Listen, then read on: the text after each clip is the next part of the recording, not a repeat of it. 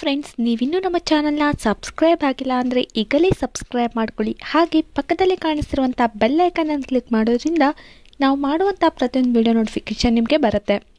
ಹಾಗಾದರೆ ಇವತ್ತಿನ ವಿಡಿಯೋದಲ್ಲಿ ನಾನು ಮೂವತ್ತರ ವಯಸ್ಸಿನ ನಂತರ ನೀವು ಗರ್ಭಿಣಿ ಆಗೋದಕ್ಕೆ ಬಯಸಿದರೆ ನಿಮ್ಮಲ್ಲಿ ಆಗುವಂಥ ಅನಾಹುತಗಳೇನು ಆಗುವಂಥ ಬೆನಿಫಿಟ್ಸ್ಗಳೇನು ಅನ್ನೋ ಒಂದು ಮಾಹಿತಿಯನ್ನು ನಾನು ನಿಮ್ಮೊಂದಿಗೆ ಹಂಚಿಕೊಳ್ತಾ ಇದ್ದೀನಿ.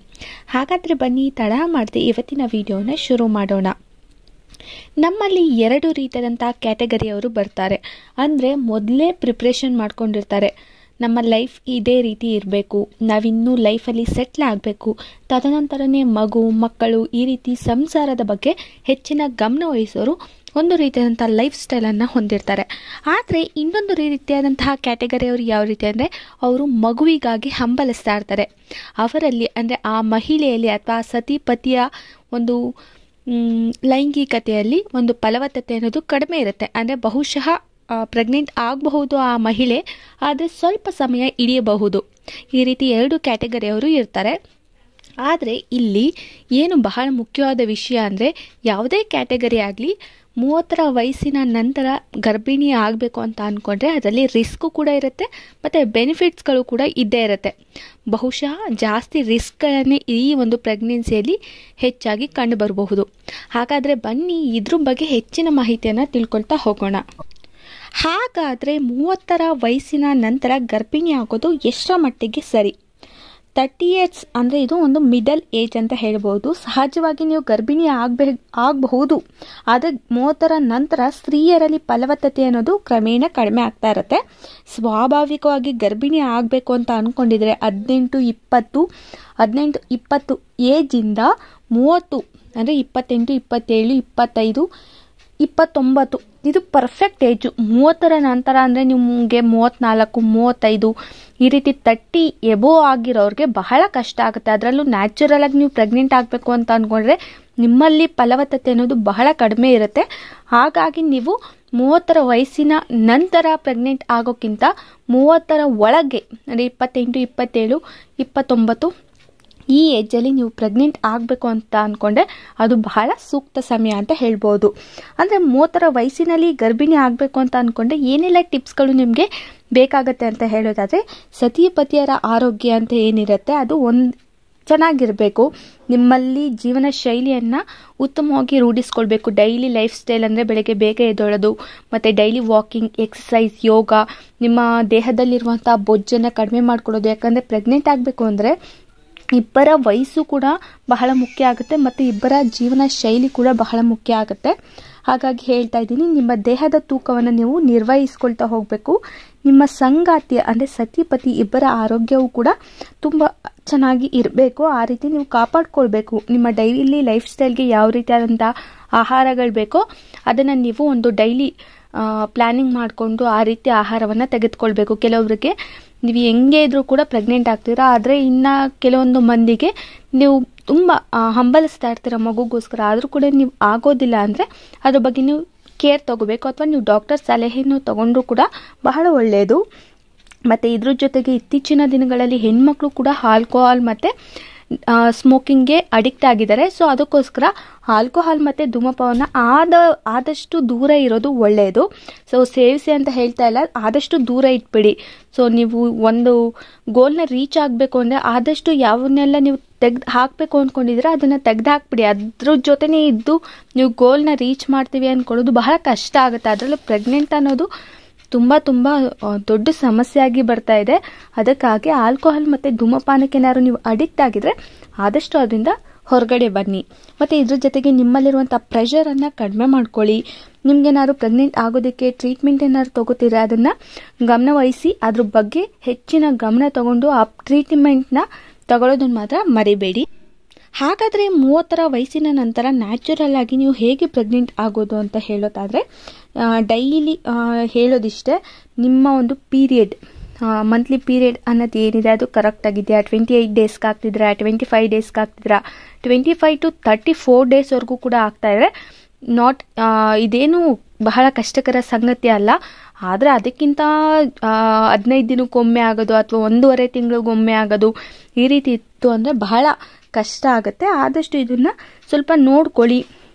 ಮತ್ತು ನಿಮ್ಮ ಸೈಕಲ್ ಬಗ್ಗೆ ಬಹಳ ಹುಷಾರಾಗಿರಲಿ. ಯಾಕಂದರೆ ಟ್ವೆಂಟಿ ಫಿಫ್ತ್ ಅಂದರೆ twenty five days to thirty four ಡೇಸ್ವರೆಗೂ ಕೂಡ ನಿಮ್ಮ ಒಂದು ಮಂತ್ಲಿ ಪೀರಿಯಡ್ ಡೇಸ್ ಯಾವ ರೀತಿ ಇದೆ, ಅದ್ರ ಬಗ್ಗೆ ಹೆಚ್ಚಿನ ಗಮನವನ್ನು ವಹಿಸಿ, ಅದ್ರ ಬಗ್ಗೆ ಟ್ರೀಟ್ಮೆಂಟನ್ನು ತಗೊಳ್ಳಿ. ಮತ್ತು ಎಕ್ಸ್ ಅನ್ನೋದು ಏನಾಗಿರುತ್ತೆ ಟ್ವೆಲ್ ಟು ಟ್ವೆಂಟಿ ಫೋರ್ ಅವರ್ಸ್ವರೆಗೂ ಕೂಡ ಅದು ವರ್ಕ್ ಮಾಡ್ತಾ ಇರುತ್ತೆ. ಸ್ಪೆಮ್ ಅನ್ನೋದು ಫೈವ್ ಡೇಸ್ವರೆಗೂ ಕೂಡ ನಿಮ್ಮ ದೇ ಮಹಿಳೆಯ ದೇಹದಲ್ಲಿ ಆ್ಯಕ್ಟಿವ್ ಆಗಿರುತ್ತೆ. ಸೊ ಈ ರೀತಿ ಒಂದು ಪ್ರೋಗ್ರೆಸ್ ಅಂದರೆ ನೀವು ಯಾವಾಗ ಸೆಕ್ಸ್ ಮಾಡ್ತೀರಾ, ನಂತರ ನೀವು ಫೈವ್ ಡೇಸ್ ಒಳಗೂ ಕೂಡ ನೀವು ಪ್ರೆಗ್ನೆಂಟ್ ಆಗೋದು ಬಹಳ ಸಹಜವಾಗಿ ಆಗೋದಕ್ಕೆ ಬಹಳ ಒಂದು ಒಳ್ಳೆ ಟೈಮ್ ಆಗಿರುತ್ತೆ. ನೀವು ಆದಷ್ಟು ಟೂ ತ್ರೀ ಡೇಸ್ಗೊಮ್ಮೆ ಸೆಕ್ಸ್ ಮಾಡೋದು ಅಥವಾ ಲೈಂಗಿಕ ಜೀವನದ ಬಗ್ಗೆ ಹೆಚ್ಚಿನ ಗಮನ ಕೊಡೋದು ಈ ತರ್ಟಿ ಇಯರ್ಸ್ ಅಥವಾ ತರ್ಟಿ ಎಬೋ ಆಗಿರುವಂತಹ ಏಜ್ ಅವ್ರಿಗೆ ಬಹಳ ಬಹಳ ಮುಖ್ಯ ಆಗ್ತಾ ಹೋಗುತ್ತೆ. ಇದರಲ್ಲಿ ನಾಚಿಕೆ ಪಟ್ಕೊಳ್ಳೋ ಅವಶ್ಯಕತೆ ಇಲ್ಲ. ಯಾಕಂದರೆ ಇದು ಖಂಡಿತವಾಗ್ಲೂ ಹೆಣ್ಣು, ಗಂಡು ಮತ್ತು ಡಾಕ್ಟರ್ಸ್ ನಡುವೆ ಅಥವಾ ಪೇಷಂಟ್ ನಡುವೆ ಇರುವಂಥ ಒಂದು ಸಂಬಂಧ ಅಂತ ಹೇಳ್ಬೋದು. ತಾಯಿ ಮಗುಗೆ ಏನು ಹೇಳ್ಕೊಡ್ತಾಳೋ ಅದೇ ರೀತಿ ಈ ಒಂದು ಪ್ರೋಗ್ರೆಸ್ ತಾ ಪೇಷಂಟ್ಸ್ ಮತ್ತು ಡಾಕ್ಟರ್ಸ್ ನಡುವೆ ಬಂದೇ ಬರುತ್ತೆ. ಹಾಗಾಗಿ ನಾನು ಕೂಡ ನಿಮಗೆ ಹೇಳ್ತಾ ಇರೋದಿಷ್ಟೇ, ನಿಮ್ಮಲ್ಲಿ ಏನಾದರೂ ಸಮಸ್ಯೆಗಳಿತ್ತು, ಯಾವ ಸಮಸ್ಯೆ ಇದೆ ಅನ್ನೋದನ್ನು ನೀವು ಕಂಡುಕೊಂಡು ಆ ಮೂಲಕ ಅದಕ್ಕೆ ಪರಿಹಾರವನ್ನು ತೆಗೆದುಕೊಳ್ಳಿ. ಸೊ ಆದಷ್ಟು ತರ್ಟಿ ಎಬೋ ಆಗಿರೋರಿಗೆ ಸೆವೆಂಟಿ ಫೈವ್ ಪರ್ಸೆಂಟ್ ಮಾತ್ರ ಮಕ್ಕಳಾಗುವಂತಹ ಚಾನ್ಸಸ್ ಹೆಚ್ಚಿರುತ್ತೆ. ಮತ್ತು ಅವರಲ್ಲಿ ನ್ಯಾಚುರಲ್ ಆಗಿ ಗರ್ಭಧಾರಣೆ ಆಗೋದು ಕೂಡ ಬಹಳ ಕಷ್ಟ ಆಗಿರುತ್ತೆ. ಆದಷ್ಟು ಅದ್ರ ಬಗ್ಗೆ ಕೇರ್ ತಗೊಳ್ಳೋದನ್ನ ಮಾತ್ರ ಮರಿಬೇಡಿ. ಮತ್ತು ಇನ್ನು ರಿಸ್ಕ್ ಮತ್ತು ಕಾಂಪ್ಲಿಕೇಶನ್ಸ್ ಬಗ್ಗೆ ಹೇಳೋದಾದರೆ ಪ್ರೆಗ್ನೆನ್ಸಿ ಆಫ್ಟರ್ ತರ್ಟಿ ಹೇಳೋದಾದರೆ, ನಿಮ್ಮಲ್ಲಿ ರಿಸ್ಕ್ ಅಂತ ಬಂದಾಗ ನಿಮಗೆ ಅಬಾಷನ್ ಗರ್ಭಪಾತ ಆಗುವಂಥ ಚಾನ್ಸಸ್ ಹೆಚ್ಚಿರುತ್ತೆ. ಅಥವಾ ಜನನ ದೋಷಗಳು ಮಗು ಹುಟ್ಟಬೇಕಾದ್ರೆ ಹುಟ್ಟುವ ಸಮಯದಲ್ಲಿ ಅನೇಕ ತೊಂದರೆಗಳಾಗ್ಬೋದು ಅಥವಾ ಹುಟ್ಟಿದಂಥ ಮಗುವಿಗೆ ಕಡಿಮೆ ತೂಕ ಹೊಂದಿರಬಹುದು ಅಥವಾ ಆ ಮಗುಗೆ ಮಧುಮೇಹ ಹುಟ್ಟದಾಗಿಂದನೇ ಮಧುಮೇಹ ಇರ್ಬೋದು, ಅಧಿಕ ರಕ್ತದೊತ್ತಡ ಇರ್ಬೋದು, ಅಥವಾ ಮಗು ಹೊರಗಡೆ ಬರೋದಕ್ಕೆ ಆಗದೆ ಸಿ ಸೆಕ್ಷನ್ ಮಾಡುವಂಥ ಸಂದರ್ಭಗಳು ಕೂಡ ಕಂಡು ಬರಬಹುದು ಇದೆಲ್ಲವೂ ಕೂಡ ಆಫ್ಟರ್ ತರ್ಟಿ ಇಯರ್ಸ್ ಆ ಪ್ರೆಗ್ನೆಂಟ್ ಆಗೋರಿಗೆ ಖಂಡಿತವಾಗ್ಲೂ ಇದು ಸಹಜವಾಗಿ ಬಂದ್ಬಿಡುತ್ತೆ. ಹಾಗಾದರೆ ಬೆನಿಫಿಟ್ಸ್ ಏನಿದೆ?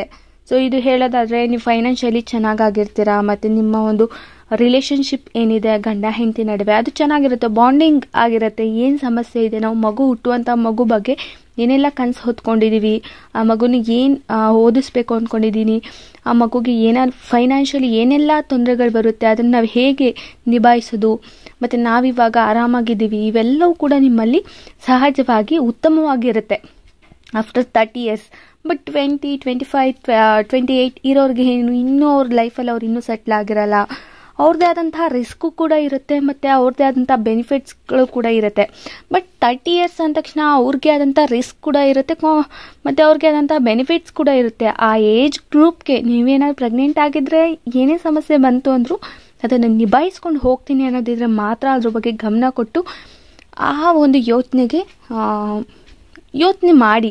ಸೊ ಇಲ್ಲ ಅಂದರೆ ಅದ್ರ ಬಗ್ಗೆ ನೆಗ್ಲೆಕ್ಟ್ ಮಾಡ್ಕೋಬೇಡಿ.